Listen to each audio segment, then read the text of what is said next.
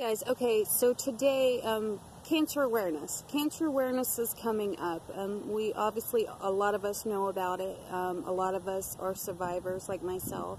Um, a lot of us have family members who um, um, have lost their life to cancer. My mother was one of them. she died from her cancer about nine years ago. She battled it for about two to three years. she had two spells with it. And I, I um, she had the ovarian cancer. Um, I had colon cancer at a very young age, um, and went through my own battles with health after the fact. Um, even you know, even now. Um, and there's many more family members that I know and friends who have um, battled these different cancers and stuff. so, so this editorial is going to be about some walks that are coming up and I'm going to be attending them and I'm going to be doing some editorials and pictures of it.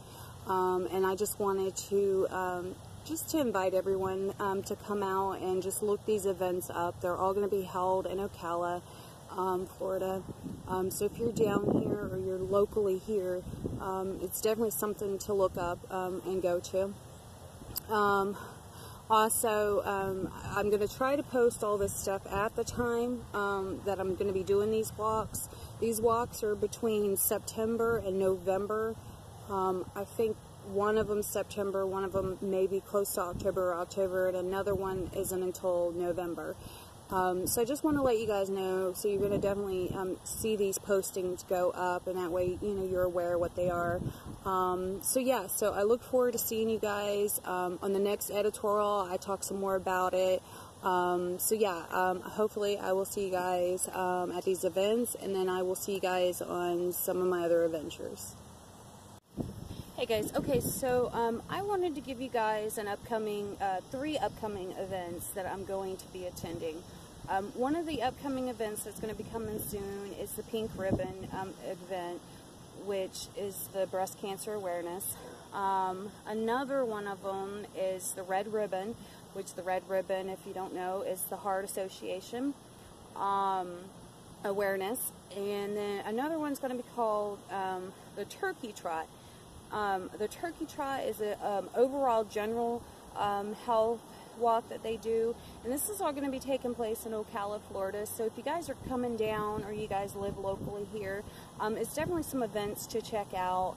Um, you can always Google um, Google these places and times because um, some of them I think you have to have um, you have to let them know ahead of time that you're going to be going uh, joining if I'm not mistaken.